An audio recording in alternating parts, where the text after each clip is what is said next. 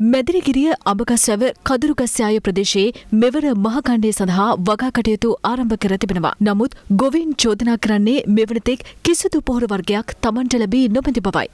මිනිස්සු ඉතින් කොහොම ගොවිතැන් කරලා ඉතින් මේ නායතුරු කියලා මේ කරන්නේ. දැන් මේනොට පොහොරටයක් මොකවත් නැහැ කාබනිකත් නැහැ මොකවත් නැහැ. ඉතින් ඒ වෙනකොට අපිට පොහොර දෙන්නම් කියලා පොරොන්දුලා තිබෙන කාබනික හදන්නේ කො හදලා මාතෙන් එකමාරෙන් ඔක හදන්න බෑනේ අපිට. දැන් අරකට නැහැ මේකත් නැහැ. මොරගහකන්ද තෝරපිටිය ප්‍රදේශයේ ගොවි ජනතාවද පොහොර නොමැතිව වුවද සිය පරිභෝජනය සඳහා පමණක් ගොවිතැන් කටයුතු ආරම්භ කර තිබෙනවා.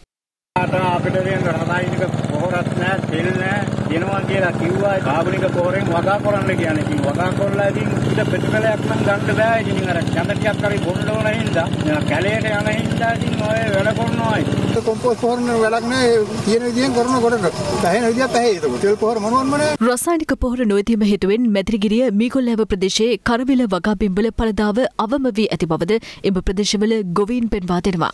මේ සිස්ටම් එකේ අපිට වගා කරන්න අනිවාර්යෙන් රසායනික පොහොර අවශ්‍යයි. ඒ කියන්නේ මේක කොම්පෝස්ට් දාලා කවදාකවත් අපිට මේ සිස්ටම් එකේ වගා කරන්න බෑ. අපිට මේ කෘෂිකර්ම දෙපාර්තමේන්තුව තමයි මේවා දීලා තියෙන්නේ. ඉතින් පොහොර නැහැ, හැදෙන්නේ නැහැ. දැන් වෙනදා මාසෙ යනකොට මේ මැස්ස සම්පූර්ණ වැහිලා ඉවරයි. මොකද හැමදේම මිනිස්සු අසරණයි. මින්නේරිය හිගුරක් දමන ප්‍රදේශයේ මින්නේරිය ජලාශයෙන් ජලය නිකුත් කරන ඇලමාර්ග ගොවි සංවිධාන එක්ව පවිත්‍ර නොකිරීම හේතුවෙන් එම ඇලමාර්ගවල ජලයද අපතේ යන බවයි ගොවීන් පවසන්නේ.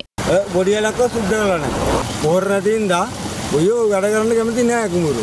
අපරාධයක් මේ වතුර ටික වතුර අපරාධ නෑ ඒක සුද්ධ කරගෙන මම වතුර පාර ගන්නවා. ඒක මොනව කරන්නේ? මට කරන් කියලා හිතා ගන්න බර ඉන්නේ දැන්. රජෙන් ඉල්ලන්න පොහොරම තමයි. රසායනික පොහොරම අපි ඉල්ලන්නේ වෙන දෙයක් නෙමෙයි. මේ අතර වසර විස්සකට අධික කාලයක් පුරන්ව පැවති අග්මීමන යක්ගහයාය වෙල්යාය කාබනික පොහොරින් අස්වැදීමේ කටයුතු එම ප්‍රදේශයේ තරුණ පිරිසක් එක්ව මෙලෙස ආරම්භ කළා. ඒ අරමුණෙන් රසායනික පොහොර නොමැතිව කාබනික පොහොර භාවිතා කරමින් එදා රාවණා යුගයේදී කළාමෙන් පැරකුම් යුගයේ කළාමෙන් ආකාරයෙන් මේ රට දිවි දේවතාවුන් වහන්සේලාගේ ආශිර්වාදය මේ අතර පුලතිසි ගොවිවෙළඳ පාරිභෝගික හවුල ඊයේ පොළොන්නරුව වැලිකන්ද ප්‍රදේශයේදී මාධ්‍ය හමුවකට එක්වෙමින් පොහොර අර්බුදය සම්බන්ධයෙන් මෙලෙස අදහස් පළ කළා. දැන් අපිට මේ කෙරෙන කුඹුරු වලදී යම් හානියක් වුණාට පස්සේ මේකේ වගකීම කවුරු හරි ගන්න ඕනේ. ඒ දැන් කටවචනෙන් බෑ මේක කොයි විදිහටද මේක ලැබෙන්න ඕනේ කියන එක සඳහන් වෙන්න ඕනේ. මේක විශාල බයකින් මේ බය ගැනීමක් බලහත්කාරකමක් හිතේ තියාගෙන තමයි අපිට මේ කුඹුර වලට බහින්න වෙලා තියෙන්නේ. මේ මිනිසුන්ට පුදුම ආදරයක්ම තියෙන්නේ. මේ මිනිසුන්ට වසවිත දෙන්න බෑ හොඳ කෑම වේලා කන්න දෙන්න ඕනයි කියලා.